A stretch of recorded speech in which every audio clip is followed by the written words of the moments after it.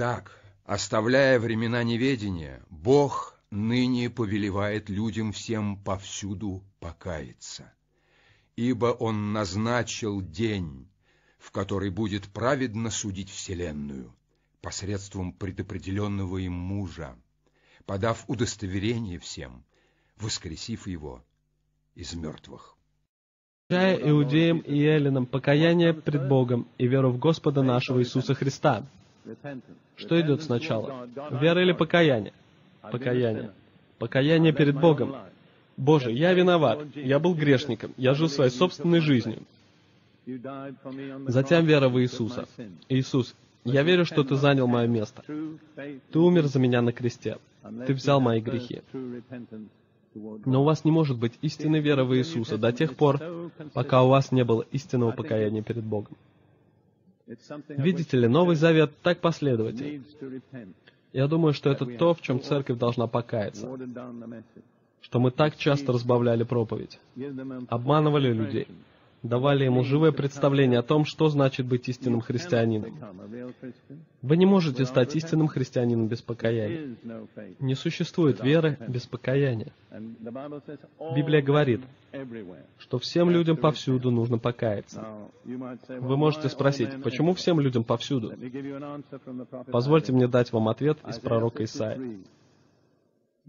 Исаия, 53 глава, 6 стих. Все мы блуждали, как овцы. Совратились каждый на свою дорогу. Видите, вот наша проблема. Мы не обязательно совершали убийство или были идолопоклонниками, или украли что-то. Может быть, даже никогда мы и не солгали, но мы все сделали одну вещь. Мы все совратились на свою собственную дорогу. А наш путь — это не Божий путь.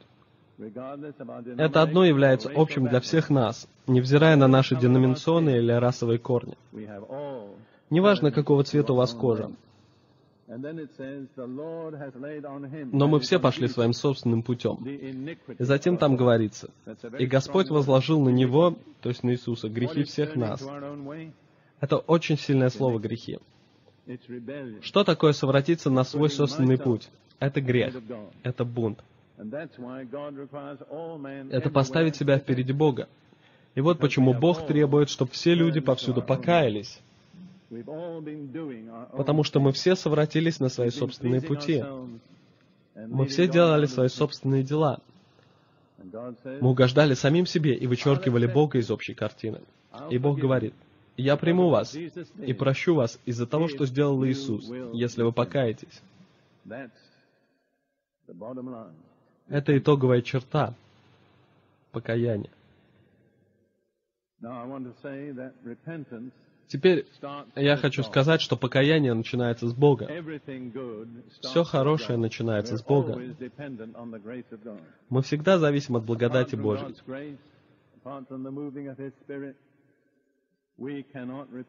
Без Его благодати, без движения Его Духа мы не можем покаяться. Это видно так ясно из 79-го псалма. Псалом 79. Та же самая фраза повторяется три раза в этом псалме. В версии перевода, которую я читаю, в стихе 4 говорится, «Боже, восстанови нас, да воссияет лицо Твое, и спасемся». Но где в переводе сказано «восстанови нас», Еврейский оригинал говорит, поверни нас обратно. Другими словами, дай нам покаяться. И это звучит там три раза, в стихе четвертом. Боже, поверни нас обратно, да воссияет лицо Твое, и спасемся. Стих восьмой. Боже сил, поверни нас обратно, да воссияет лицо Твое, и спасемся. Стих 20. «Господи Боже сил, поверни нас обратно, да воссияет лицо Твое и спасемся». Вы понимаете, что вы не можете покаяться, пока Бог не обратит вас. Обращение начинается с Бога. Вот почему это такой важный момент нашей жизни, когда Бог начинает обращать нас. Потому что если мы игнорируем это и отворачиваемся, мы не можем покаяться, оставленные на самих себя. Мы зависим от Бога в инициативе покаяния. И затем в книге «Плача Иеремии», глава 5, стих 21. Плач Иеремии — это книга скорби Иеремии о разрушении Иерусалима из-за его постоянного бунта против Бога. И там говорится, Плач Иеремии, 5 глава, 21 стих. И в этом переводе говорится «поверни нас обратно». Это то же самое слово, которое используется в 79-м псалме. «Обрати нас к Тебе, Господи, и мы обратимся. Обнови дни наши, как древле». Это очень и очень серьезная мысль. Вы не можете обратиться, пока Бог не начнет обращать вас. Вот почему это такой тонкий момент каждой жизни. Я знал одного молодого человека, который был моим другом в армии. Когда я был спасен, он был единственным свидетельством, свидетелем. Он знал об изменении моей жизни, и немного позднее, в той же самой части, я начал библейские уроки. Я думал, что я должен что-то делать. У меня не было никакого представления о том, как вести эти уроки. Я не знал, с чего начинать. Я думал, начну-ка я с Нового Завета. Откуда я начну? С первой главы. Итак, я начал с генеалогии Иисуса. И я продолжил, и мой кружок посещало четверо или пятеро моих служивцев. Это было в пустыне в Северной Африке. И затем этот мой друг, и он действительно был хорошим другом, подошел ко мне и сказал, «Прости меня, старик, но я больше не буду ходить в твой библейский класс». Я спросил, почему? Он ответил, «Потому что я знаю, что если я буду продолжать, я буду обращен». Многие годы спустя я встретил его в совершенно других обстоятельствах, и он был самым несчастным человеком, которого я когда-либо знал. И он умолял меня помочь ему, и я сделал все, что мог. У меня есть опыт в приведении людей к Господу, и я не смог помочь ему. Я помог его жене, она была спасена. Я не знаю, какой был его конец, но что это было за предупреждение? Вы думаете, что вы можете обратиться, когда вы этого хотите. Вы можете сказать, «Бог, я занят сейчас, но приходи попозже». Но вы не сможете сделать это. Когда он хотел обратиться, он не смог. Я не говорю, что он перешел грань, за которой невозможно покаяние. Я не знаю, каким был его конец. Но что за урок это был для меня? Это не устраивало его в тот момент, когда Бог говорил к нему принять спасение. Когда же он хотел спасения, Бог не говорил к нему. Кто знает, как он закончил. Библия говорит, что есть только одна альтернатива покаянию. И это утверждается в Евангелии от Луки, главе 13. Первые два стиха в служении Иисуса. В это время пришли некоторые и рассказали ему о галилеянах, которых кровь Пилат смешал с жертвами их. Очевидно, что Пилат убил их фактически во время того, как они совершали какое-то жертвоприношение. Вы думаете, что это будет зачтено им к их пользе, но Иисус, отвечая, говорит им. Иисус сказал им на это. Думаете ли вы, что эти галилеяне были грешнее всех галилеян, что так пострадали? Нет, говорю вам, но если не покаетесь, все также погибнете. Или думаете ли, что те 18 человек, на которых упала башня Силаамская и побила их, виновнее были всех живущих в Иерусалиме? Нет, говорю вам, но если не покаетесь, все также погибнете. Есть только две альтернативы – покайся или погибнешь. Это слова одного Иису, самого Иисуса. Мы сказали, что покаяние — это путь к вере. Давайте немного исследуем природу веры. И затем мы продолжим на следующем собрании. В послании к римлянам 10 главе 17 стихе, который я цитировал вам раньше, говорится, «Итак, вера от слышания, а слышание от Слова Божия». Это очень важный принцип. Вера, как она используется в Библии, означает всегда веру в Слово Божье. Она может прийти только из одного источника, Божьего Слова. У нее есть только один фокус — Божье Слово. Видите, мы можем сказать на современном английском, «У меня есть великая вера в моего врача», или «У меня есть вера в политическую партию», или «У меня есть вера в определенное лекарство» или диету. Это закон. Нет ничего неправильного в использовании этого слова. Но это не библейское использование веры. Вера в Библии всегда основывается на Слове Божьем. Все, что не основывается на Слове Божьем, не является библейской верой. И затем в послании к евреям в 11 главе у нас есть определение веры. Я думаю, что это единственное слово, которому Библия дает определение. Я не могу вспомнить другого слова, которому Библия дает определение. И в Евреям 11 главе 1 стихе говорится, «Вера же есть осуществление ожидаемого и уверенность в невидимом». Итак, есть взаимоотношения между верой и надеждой. И я обнаружил, что множество людей имеют надежду, думая, что они имеют веру. Вера — это здесь и сейчас. Надежда лежит в будущем. Вера — это сущность. Вера — это то, что реально в наших сердцах. И на основании веры мы можем иметь законную надежду на будущее. Но любая надежда, которая не лежит на законной вере, это просто принятие желаемого за действительное. Но помните всегда, вера — это нечто существенное в нашем сердце. Она прямо там, прямо сейчас. Послание к римлянам, 10 глава, 9 стих говорит, «Ибо если устами твоими будешь исповедовать Иисуса Господа и сердцем твоим веровать, что Бог воскресил его из мертвых, то спасешься». Заметьте, библейская вера не в разуме, она в сердце. И затем Павел продолжает, говоря, «Потому что сердцем веруют в праведности, а устами исповедуют к спасению. В Новом Завете вера — это слово, означающее действие.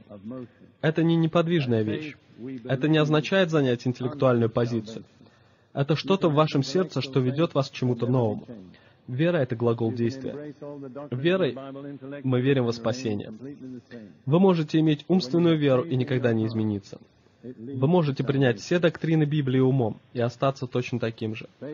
Но когда вы имеете веру в сердце, она ведет вас к спасению. Вера в настоящем, надежда в будущем. Вера в сердце, надежда в разуме. В первом послании фессалоникийцам, 5 главе 8 стихе, Павел говорит об обоих, и он использует очень интересную картину. Первое послание фессалоникийцам, 5 глава, 8 стих. Мы же, будучи сынами дня, дотрезвимся, облегшись броню веры и любви и в шлем надежды спасения. Вы обратили внимание на то, что здесь присутствуют два предмета военной амуниции. Вера — это броня. Что защищает броня? Сердце, правильно. Но надежда — это шлем. Что защищает шлем? Голову. Правильно. Вера в сердце, надежда в разуме. И теперь, надежда очень важна, потому что каждый истинный христианин должен быть оптимистом. Если вы пессимист, фактически это отвержение вашей веры. Я определяю надежду следующим образом. Уверенное ожидание хорошего, основанное на Слове Божьем. И каждый из нас, кто является истинным верующим, имеет уверенное ожидание будущего. Потому что не имеет значения, что случится в этой жизни. Мы будем с Иисусом вечно. Если это ваша надежда, вы можете быть в депрессии, вы можете быть подавлены, но вы никогда не сдадитесь, потому что у вас есть надежда. Надежда, которая основывается на вере. Затем мы возвращаемся к 11 главе послания к евреям, чтобы посмотреть на большее количество утверждений о вере. Это чудесная 11 глава послания к евреям, великая глава веры. В третьем стихе 11 главы говорится, «Верою познаем, что веки устроены Словом Божиим, так что из невидимого произошло видимое». Очень важно понимать, что вера связывает вас с невидимым. Вера не основывается на том, что мы видим. Вера ведет нас за сферу чувств, сферу невидимого.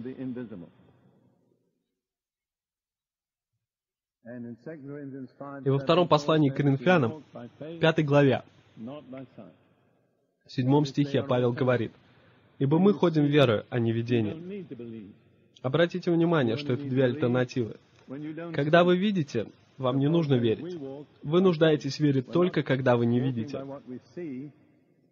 Итак, Павел говорит, что мы ходим верой. Мы не ходим тем, что мы видим. Мы ходим тем, во что мы верим. Я вспоминаю двух сестер Лазаря. Иисус сказал Марку, «Не сказал ли я тебе, что если будешь веровать, увидишь славу Божию?» Видите? Итак, что идет сначала? Вера или видение? Вера, правильно. Так много людей говорят, когда я вижу, я поверю. Нет, это неправда, потому что когда вы видите, вам не нужна вера. Вам нужно веровать, когда вы не видите. Мы ходим верой, а не видением. Я встречал так много людей, которые говорят, если бы я только мог увидеть, я бы поверил. Но это неправда. Вам не понадобится верить тогда. Вам нужна вера, когда вы не можете видеть. Мы ходим верой, а не видением. И затем я хочу сказать, что на языках оригинал и иврите, и греческом первоначально вера не является вопросом доктрины, это вопрос характера. У нас сложилось неправильное представление в нашем евангелическом мышлении. У нас есть тенденция говорить о вере как об интеллектуальном принятии определенных доктрин. Прежде всего, вера — это вопрос характера. Это правильный перевод еврейского слова «эмена» и греческого «пистис». Оба эти слова прежде всего означают верность, преданность, посвящение. Иисус сказал своим ученикам, «Но вы пребыли со мной в напастях моих». Это вера, это пребывание с Иисусом. Это личное посвящение личности. Вера связывает нас с Иисусом, как с нашим первосвященником, когда мы исповедуем это. Послание евреям, 3 глава, стих 1 говорит, Итак, братья святые, участники в небесном звании, уразумейте посланника и первосвященника исповедания нашего Иисуса Христа. Помните, это важно. Иисус является первосвященником вашего исповедания. Если вы исповедуете Его, тогда Он ваш первосвященник. Если вы безмолвствуете, Он не может им быть для вас. Вот почему важно исповедовать свою веру. И затем посланник евреям 4 главе 14 стихе говорится, «Итак, имея первосвященника великого, прошедшего небеса, Иисуса, Сына Божия, будем твердо держаться исповедания нашего». В Евреям 10 главе 21 стихе говорится, «И имея великого священника над Домом Божиим, Стих 23. «Будем держаться исповедания упования неуклонно, ибо верен обещавший». Заметьте, что мы прогрессируем от веры к надежде. У нас есть надежда, которая основывается на нашей вере. Мы исповедовали нашу веру, теперь мы исповедуем нашу надежду. Здесь говорится неуклонно. Почему? Почему говорится, будем твердо держаться исповедания нашего? Причина в том, что есть множество сил, которые будут противостоять этому. Большое давление встанет против нас. Множество того, что будет пытаться подавить нас и подорвать нашу веру. И это сражение решимости, это сражение терпения.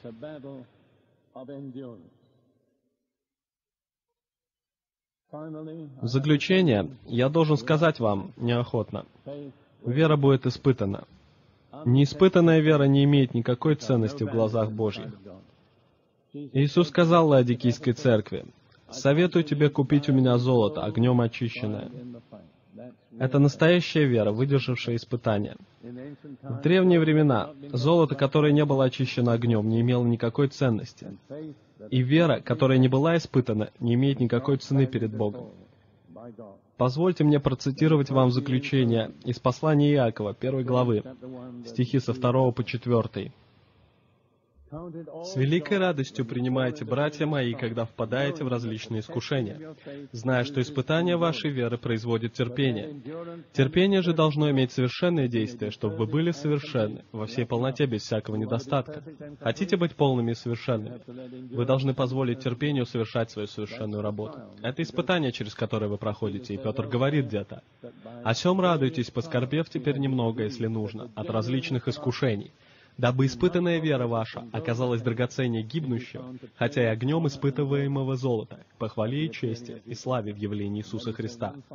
И позвольте мне сказать одно последнее слово вам, которое, наверное, вы бы не желали, чтобы я говорил.